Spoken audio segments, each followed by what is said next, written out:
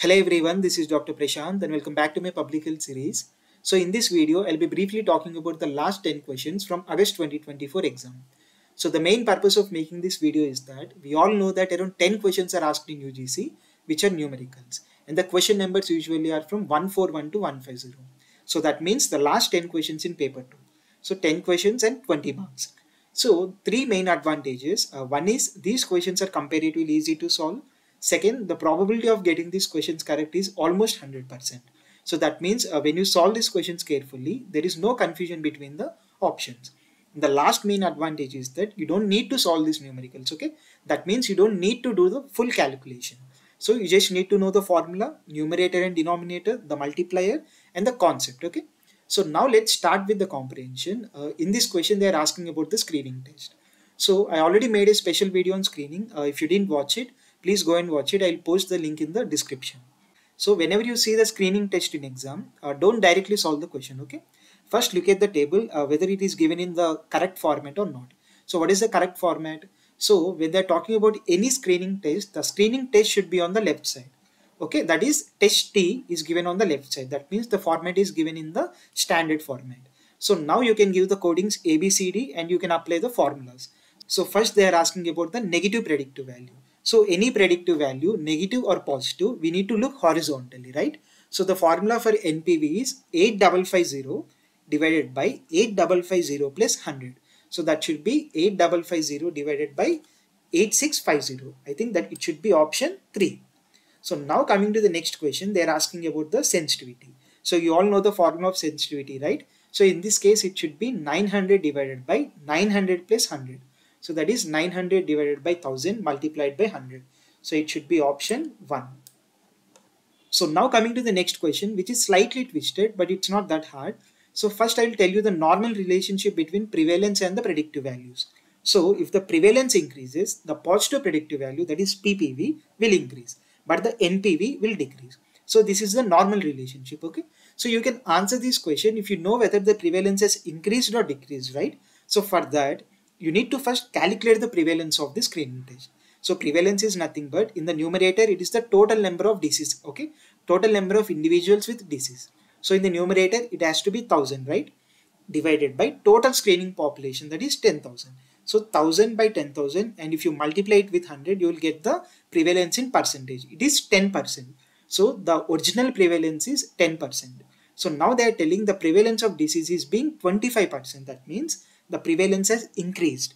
So when the prevalence increase, the PPV will increase, but the NPV will decrease. So the option should be option 3. Now the same thing, uh, they are asking you to calculate the prevalence. As I already said, prevalence, the numerator should be the total individuals with disease that is 1000 divided by total population that is 10,000. So 1000 divided by 10,000 multiplied by 100. Option 3. So now coming to the next question, they are asking you to calculate the specificity. It is very easy.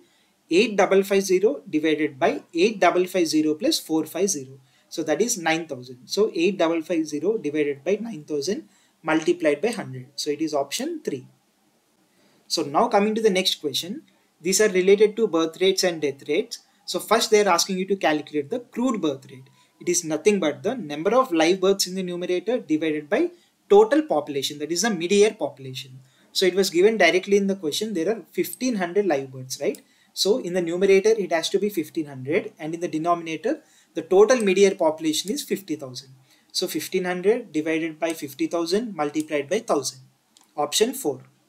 So in the next question they are asking you to calculate the infant mortality rate.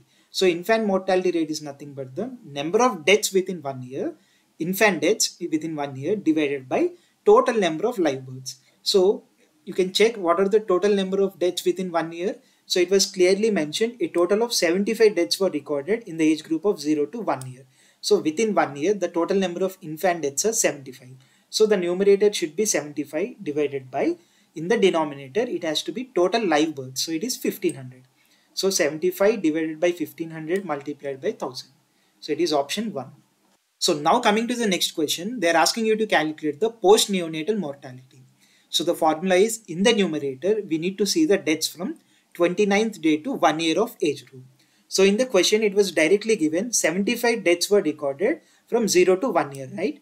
and also 40 deaths within 0 to 28 days. So to get deaths from 29th day to 1 year, you just need to subtract 40 from 75. So it will be 35. I think there is only one option where the numerator is 35 and the denominator should be the number of live births that is 1500 multiplied by 1000. So it's option 2.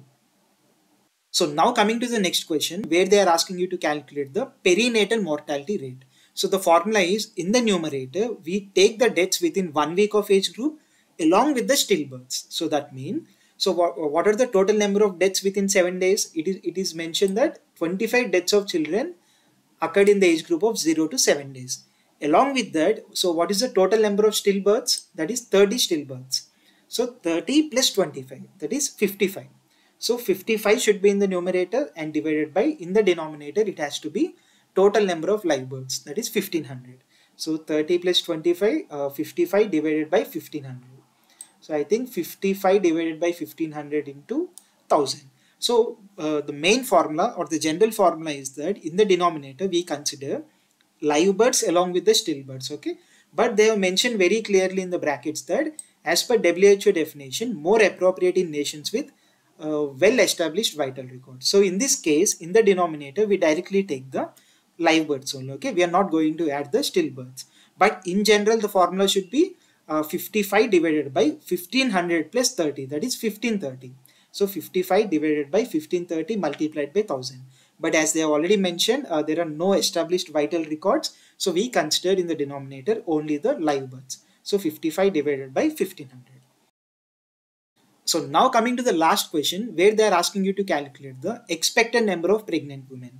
So for this uh, there is a direct calculation. So to calculate the expected number of pregnant women you need to add live births that is 1500 plus 10% of that 1500 so this 10% is nothing but the pregnancy wastage. So it can be stillbirths or abortions or any pregnancy failure. Okay. So 1500 plus 10% of 1500. So the option should be actually 10% uh, of 1500. Okay. It's not just 10%. 1500 plus 10% of that 1500. So I think it should be option 4.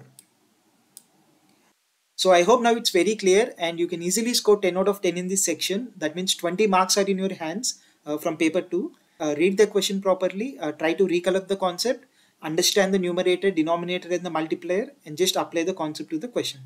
So one main tip is that uh, don't get confused first thing, uh, you know, go through all the formulas from my SMCH notes. I have given very clearly, uh, you know, in a proper sequence also so that you don't waste your time. So if there are any other queries, uh, you can post it in the comment section. Thank you.